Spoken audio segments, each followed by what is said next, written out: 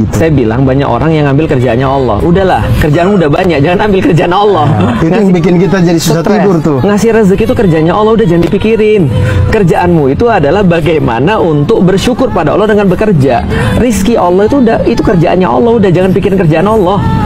Ngapain sih bikin kerjaan Allah? Ya, ya. Tapi kadang-kadang saya suka kepikiran sih. Iya, Contoh, iya, saya suka iya. kepikiran bapak saya belum belum masuk Islam, ya kan? Padahal kan bukan kerjaan saya. Kan saya nggak nggak bisa kasih hidayah pada siapa pun. Saya nggak bisa privilege untuk ngasih kebaikan pada siapa pun. Yang ngasih semuanya adalah Allah. Nah, tapi ya namanya manusia kadang-kadang Iya, kepikiran. Hmm. Itu, itu tadi uh, uh, impact dari cinta tadi jadinya kan memikirkan. Betul, tapi ya tadi sesuatu yang membuat saya jadi tenang adalah ya udahlah Lik, itu kan bukan kerjaanmu. Itu Ya. pernah Rasulullah pikirin dan Rasulullah ditegur. Rasul ketika Ya. ketika Abu Talib meninggal, Ya. wafat, itu Rasul sedih. Karena dia belum bersyahadat. Langsung ditegur sama Allah. Innaka la tahdi man ahbabta. Wahai Muhammad, bukan kas- eh, bukan kamu yang kasih hidayah. Ingat baik-baik. Walakin Allah yahdi mayasya.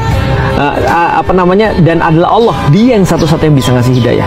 Wa huwa a'lamu bil muhtadin. Dan Allah tahu siapa yang lebih cocok dikasih hidayah. Artinya itu adalah teguran sekaligus sebuah hiburan pada Rasulullah. Karena orang-orang nyalain Rasulullah. Ah katanya Nabi paman sendiri meninggalnya nggak nggak muslim. Gimana sih?